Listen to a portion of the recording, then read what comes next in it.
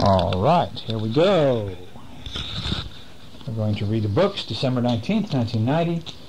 My Tiger Wagger Hunter boy is not feeling very good. He's got a fever. Don't you?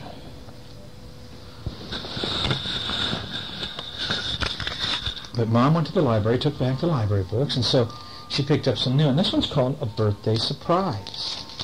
Hey, Christmas almost here, isn't it? Huh? Is Christmas almost here? This guy is a, what? A skunk, I think. Looks like a skunk because he's black and he's got this tail here. His name is Sammy, and he says Sammy is all alone. I told Cheyenne we were reading. She's out there with Mom in the studio, I guess. And he says, nobody likes me. you say that sometimes, don't you? Hunter, you say that sometimes. Oh, Mommy doesn't like me, or Willie doesn't like me. You get all upset. When he says nobody likes me, and today is my birthday. Look at it's almost the same day as your birthday. It's in June, the first part of June. And this then the doorbell rang. And ding ding ding ding. You see the bell right there by the door? And here's Sammy. He's looking at the calendar. He's realizing it's his birthday, and somebody is outside. Who's outside? A kitty of some kind, isn't it? Oh, well, the kitty was bringing a big box. It was a delivery cat. And the delivery cat brought a great big red box. Now look at this box. This box is bigger than Sammy. In fact, Sammy has to go outside and get a ladder to climb up. And he puts up the ladder and and he's climbing up and he's unwrapping the box, a huge box. It's got a green ribbon on it. So he opens the box and inside is another box. Only this time it's a white box with an orange ribbon. And Sammy's going, well, what's this? And so he opens that box. And now inside that is another box. This box is a a green box with a white ribbon. And Sammy is going, good heavens. And so he opens that box up, takes the lid off. Inside it is a, that's right, another box. A red box with a yellow ribbon.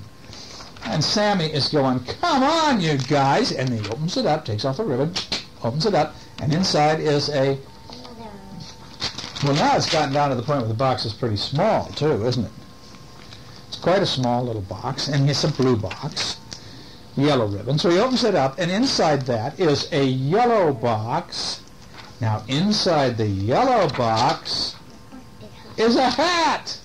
Yay! And the hat is red and white and blue. And Sammy has a lot of boxes, doesn't he? And so Sammy puts it on, and he says, Happy birthday to me. Oh, but nobody likes me. And so Sammy goes up to his room, and he's wearing his birthday hat, and he lays down in bed, and he takes his little toy bear, his teddy bear, his teddy lion, or whatever it is, and so he's going, he's still crying, look at that. Tears are coming out of his eyes. And then, all of a sudden, he hears the door is starting to open, and it's opening very slowly. And so he hides under the covers. Look at, there's his tail. He puts the covers up on top of him. He snuggles down under the covers, and then he hears, Happy birthday, Sammy! Yay!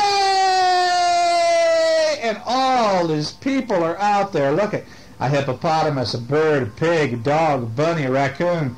They all have on party hats. They're all going, Yay, Sammy! Happy birthday to you! Happy birthday is very happy, says Sammy. He comes up from out from under the covers. He has on a hat. They say, let's have a party and celebrate your birthday. And everybody's happy. Is that me? Now he was he was he said, Well, nobody cares about me, nobody likes me. But that wasn't true, was it? They all liked him. Come on, Cheyenne. I've been wondering where you are. Get up here. We're reading books. You missed the birthday surprise book, but we got more to read. Wow. Did you dress up as a little ballerina, sweet birdie? No. You didn't? No. Well, it looks like it's a ballerina. Only I think Cheyenne put it on inside out this time. I put it on the shirt, then Cheyenne, look, we're going to read these books. You see these books? What, do you want Daddy to help you turn it right side out? Huh? Okay, we have to stop reading for just a moment here, Hunter, while we get Cheyenne's ballet costume fixed, okay? Sweet. How many times have you changed clothes today? Ten? Fifteen? No, only one. Yes. Only once? Baloney. Cheyenne cannot function with only changing clothes once. She likes to change clothes all day, don't you? Hmm? Okay, let's get it out. I thought you were going to put on your jammies. You told me your jammies. You have created a new costume. Nope. No? Looks like a new costume to Daddy. Know that? Nope. Okay, well, anyway, should we read this one next? I mean, this one is called Mean Murgatroyd and the Ten Cats. I think that these are the ten cats. And there's a little girl, and this is probably Mean Murgatroyd. Let's count them. One, two, three, four, five, six, seven, eight, nine, ten. That's right, there's ten cats there. Okay. Mean Murgatroyd and the Ten Cats. Ooh, look at that cat. What's that cat doing? It's going meow. Meow! That's a scared cat, isn't it? His all of his hair went straight out, going, no, no, no, no. It says, Arabella owned ten cats. Now this little girl right here, her name is Arabella. She owned ten cats, and every day she led them out of her house to take a morning walk. See? Okay, open the door, and out you go. Down the stairs, and she takes them for a walk. How would you like to have to take ten cats for a walk every morning? I want to take ninja. Well, what about ten cats? Can you see taking them out of our house and going for a walk with ten of them? Can you imagine that? Yes. We could go down to the beach, I guess, huh? They'd probably like that. And every day, the dog next door, whose name was Mean Murgatroyd, barked a special bark. And that meant that all the other dogs knew that the cats were out. All the dogs in town would come running and they chased Arabella and her cats all the way back to the house.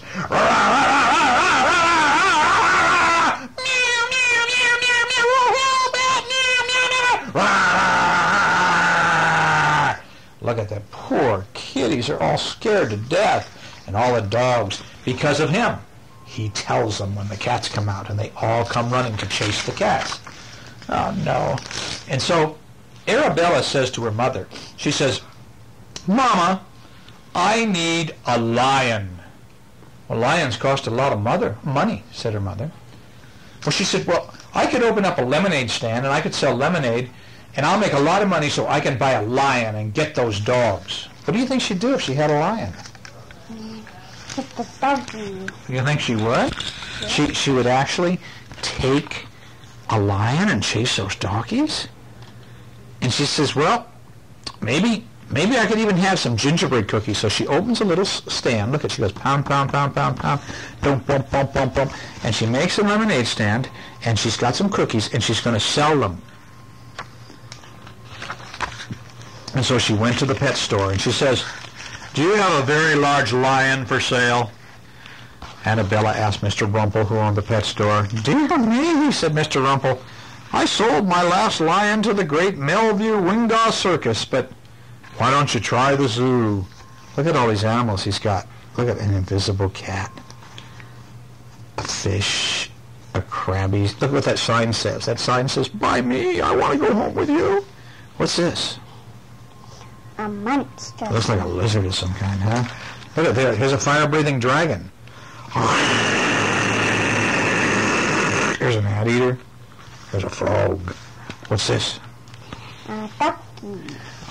Annabella's cats are scared of all these wild things. Anyway, so Annabella says, oh, he goes to the zoo.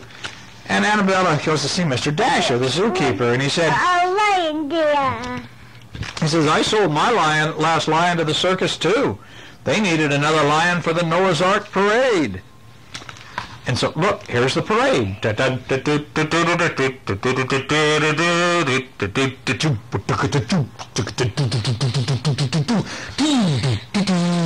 this, the clown's going down the street, and the clown is, is tossing the balls in the air. Here's a lion running along, and here's mousies, little kangaroo mice and monkeys, and way up here in the uh, in the air is the big dirigible with the MM on it, which means Melvin Migwau's Circus. And look at here he is. Here's the guy leading them.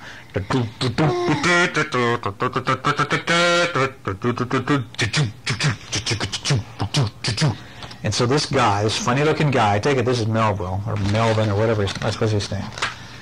Melvin Wigwam. He's got elephants and lions and duck-billed platypuses and monsters and turtles and big storks and weird things and hopping frogs and penguins. And he says, the zoo man, though, says to Annabella, he says, well, there's lots of lions in Africa. He says, do you think your mother would let me go? Do you think Mama would let me go? Said Annabella, and he says, now, what I do have is rabbits. Would you like some rabbits? But Annabella said, no, rabbits won't be any help at all, because what does she want? She wants a lion to scare those dogs, doesn't she? So Annabella started home, and then she stopped in front of a window filled with strange things, and she jiggled all the money in her purse. And so she went into the store, and she bought something with her money. What do you suppose Annabella bought in that? What's in that box? I don't know. I don't know either.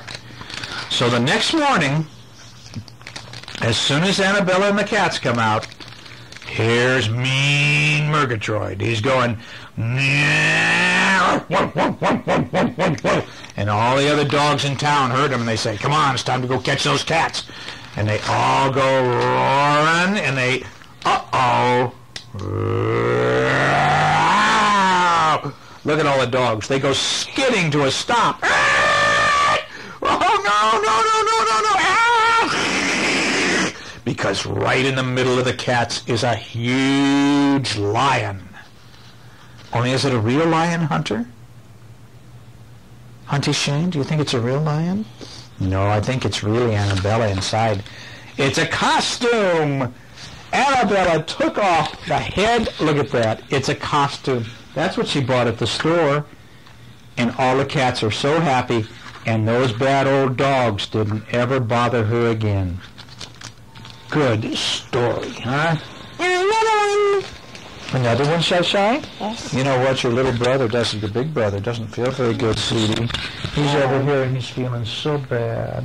He's even rolling That's over. right. All right, we'll read it in a minute if Hunter wants to Daddy to still read a book. Did you want Daddy to read a book, sweetie? You poor little boy. Hunter is really feels sick, you know that, Shy Shy? Yeah. His fever is 103.6, and we're bringing it back down now. That was higher than it's been yesterday. Poor kid. Yes. Are you drinking water, Hunter? Do you want Dad to get you some more water? Want me to get some? Okay, I'm going to turn off the tape here for a minute, and then we'll go get you some water. That's the too much sugar in the cookie. No, I don't think it was too much sugar in the cookies, honey. Some kind of a germ got you. Some kind of a germ got my boy, and I don't like it. Made him feel bad.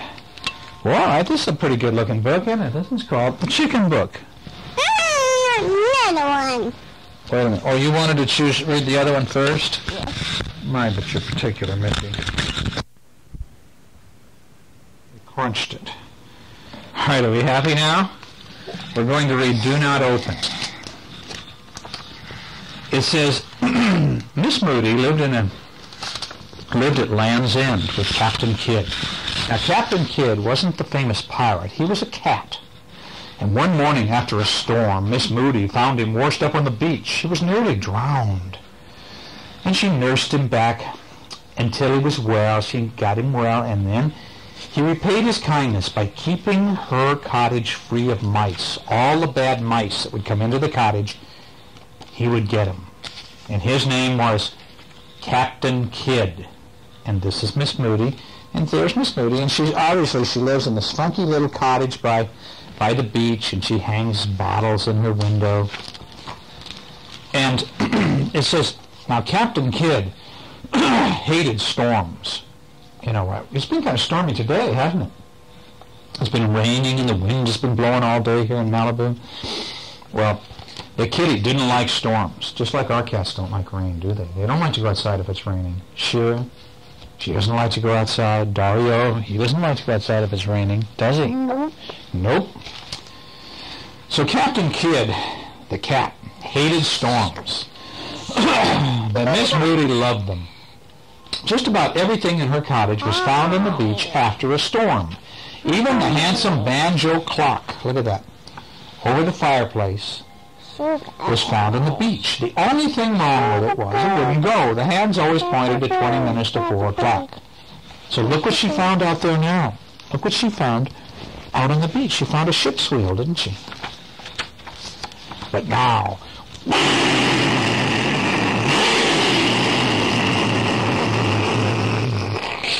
this is late one afternoon, September afternoon. The sky got very dark, and Miss Moody knew what was coming. So she shut the windows and she lit a nice cheery fire in the fireplace, and then she made a delicious soup for supper, a chowder. But there was enough for Captain Kidd. But he wouldn't come in from under the bed to eat. He wouldn't come out from under the bed because the storm was scaring him, scaring him a lot. See outside, look at this. The lightning and the thunder, and look at the waves of the ocean are just going. Lightning flashed, thunder crashed, rain dashed against the windows. All evening the wind howled furiously and tried to blow the little cottage to Halifax. And so, though, Miss Moody, was she worried? Nope, not a bit. Her sturdy house was built by the sea by a sea captain, and it could ride out any storm. And so she washed the supper dishes, and she went to bed with a good ghost story. See, she's reading a book of ghost stories. Would you read ghost stories? No? Would they scare you? Yeah? Would they scare you, Shay? Nah. Ghost stories? Yeah. No. And so, anyway, she went to bed with a good ghost story. Now and then she smiled and she wondered what surprises might be waiting for her in the beach in the morning. But look at this. I'm gonna put it down. The what? I'm gonna put it down. Really? Yeah. I'm gonna put it down. Oh, I see. Okay. Look at this. The kitty's under the bed, isn't he? Yes. Captain Kidd's under the bed.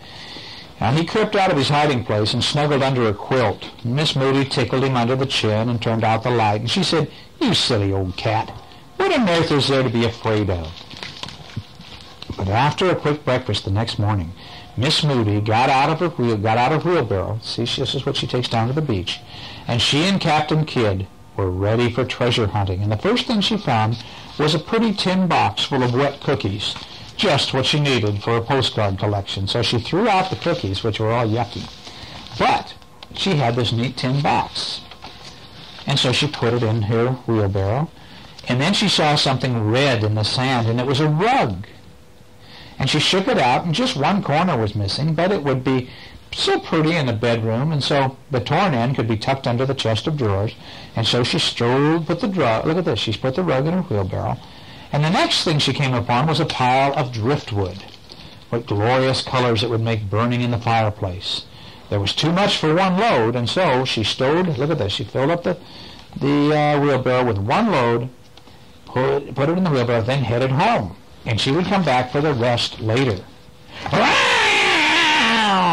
Oh, what's that? What's that? I don't know. I don't know what that is. It said Captain Kidd saw it first, and he didn't like it at all. Nearly covered in the sand was a small, dark bottle. Now, colored bottles of all kinds hung in Miss Moody's west window. When the sun shone through, it was like being in church, but there were no deep purple bottles like this. But there were some words on it. It says, do not open this bottle. Why? I don't know. A voice said, What do you want more than anything in the world? More than anything in the world, Miss Moody wanted her banjo clock to run properly, to tick and bong like banjo clocks are supposed to do. But she was certainly not about to tell anyone or to tell a stranger. None of your beeswax, she snapped, and turned around to see who was speaking to her. But there was no one there. Maybe the bottle was talking to her. Oh, no. Look at her. She's looking at that bottle pretty strange, isn't she? Well, no one was any place in sight. She couldn't even see Captain Kidd for a moment. Then she noticed his tail. Look at it. Look, where's Captain Kidd? He's under the wheelbarrow, isn't he? Huh? Yes, he is. He's under. And so she said, I'll give you whatever you want if you'll just let me out. Oh, a voice is coming from inside the bottle. I'll give you whatever you want if you'll just let me out. Please open the bottle and I'll come out. The voice was coming from inside the bottle. She almost dropped it. She said, Who are you? I'm a poor little child. I was put in here by a wicked magician. I want to go home to my mama. Pull the stopper. Let me out, please. Should she open this up? What do you think? Please do it. What do you think? Uh,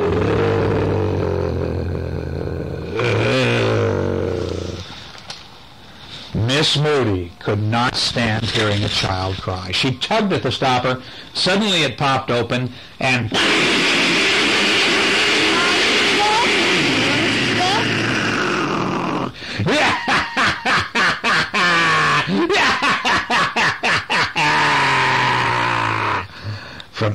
inside the bottle, the bottle burst open. A cloud came out and horrid laughter. It was not the laughter of a child. I'm free, he said. it was a voice that roared like thunder. Ah!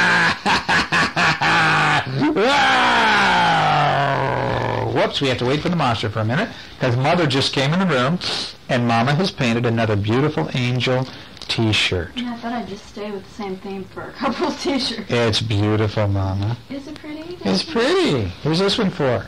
I don't know. I'm just gonna do like a bunch and then pass them out. I think it's beautiful, Mom. Because I gotta give one to, uh, you know, I should, you know, I don't know if Jessie would wear one that I'd make one, but I'd make one for her. Well, you got a lot of stuff already for Jess. So. Yeah, I do. Look at this monster was in the bottle, Mom. This is awful, scary story. We have opened the bottle that they found on the beach, and inside, look at this. The smoke cleared away, and Miss Moody was staring at the biggest, ugliest creature she'd ever seen. He was ugly. Really ugly. I, I sit and look, try to look a little bit. Oh, these are good books, Mom. Oh, good. And the monster said, I said, thank you, madam. Too bad you didn't make a wish. You could have had anything you wanted. Gold, jewels, a palace. I could have made you a queen or a president. Now, I must get to work. Work, said Miss Moody. She's very surprised. Lots of work. When anyone wants to steal or cheat or lie or hurt someone else or start a nice little war, I help them do it. Just for fun, I get into people's dreams and I make children wake up screaming. Ooh, is he? Oh, oh, look at him. He's getting worse and worse looking, isn't he? Well, that's just what you are, said Miss Moody, a very bad, bad dream. And he goes, look at this, look at those teeth and those awful ears and his red eyes. And he says, why aren't you afraid of me? Because I'm not afraid of anything I don't believe in, and I don't believe in you for a minute. And the creature began to grow bigger and uglier. He says, now are you afraid of me?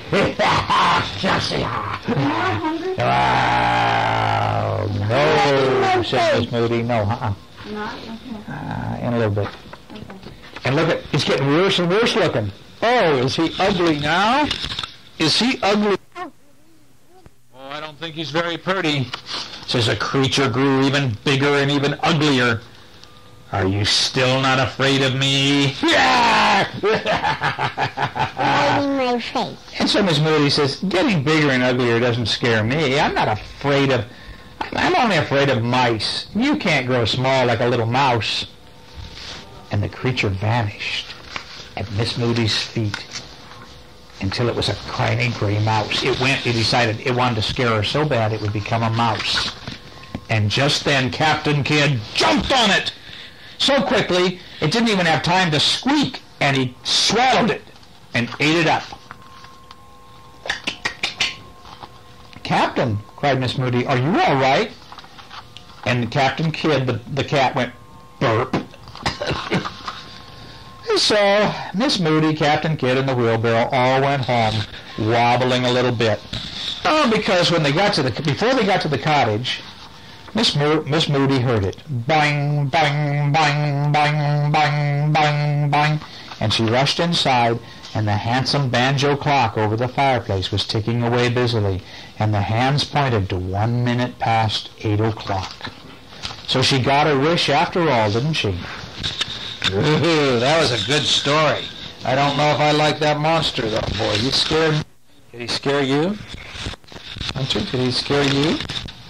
Uh, Where's the other one? Where's the one about the? Where's the book about the chickens?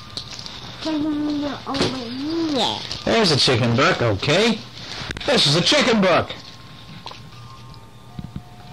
Boy, people have been checking this book out a lot since 1981, huh? Almost 1991. Well, let's see here. What is it? Not scary anymore. I'm not going to scare you anymore. Did I scare you? Yes. Oh, I'm sorry. Well, said the first said the first little chicken with a queer little squirm. What did the first little, were we missing a page here? Chicken book. No. I wish I could find a big fat worm. Here he goes. What's that? A worm. A worm is right there. So the next little chicken, with an odd little shrug, look at this. He's out in the barnyard. There's a horsey and a barn and a chicken and trees. Nice farm. I wish I could find a big fat slug. I would eat him. Thanks. So the third little chicken with a sharp little squeal. Look at that. Look at this pretty farmland, huh? I wish I could find a nice yellow meal. Mmm. Said the fourth little chicken with a sigh of relief. I wish I could find a little green leaf. Oh, weird little chickens. Said the fifth little chicken with a faint little moan. I wish I could find a wee gal- gravel stone. That's haunted? I don't know where this is. Now see here, said the mother from the fourth garden, from the green garden patch. If you want any breakfast, just come here, come here. Look, at here all come all the chickens. And here's Mama Chicken saying, scratch! And he's scratching the dirt. And look what they do. This one's getting the worm. This one's eating the slug. This one's eating the gravel. This one's scratching. This one's eating a, a, uh, a leaf. Well, that's a wonderful story, huh? Yeah. I don't know. That's a pretty stupid story. I think. You have something to say? Um, Talk to me. I'm interviewing you. what are you doing? I'm loving you. You're my boy, and I love you. Hmm? And there's my girl, and I love her. What have you got, Cheyenne? Tell me about what you have in your hand. What are those? Andy Boogie. Gumby and Pookie? Pokey? Yes. And what do you do with them? Mm, You play with them? Yes. How do you play with them? Um, yes. Does Gumby ride on Pokey? Hunter, are you going to feel really good tomorrow? Maybe. Maybe? Oh, my poor boy. I don't want you to catch this stuff, Shy Shy Baby Boo Boo. Okay. We've read several new books. You know what we could do? Because Hunter feels so bad, I bet we could watch some cartoons. Would anybody like to watch cartoons? Yes. I think we should let Hunter choose what cartoons he wants to watch, huh? Um, okay, let's count down to turn off the tape. Let's count down. We'll go We'll count to ten and we'll turn off the tape. One, two, three, four, Five, six, seven, eight, nine, ten. Good, Cheyenne. You almost did it. Yay!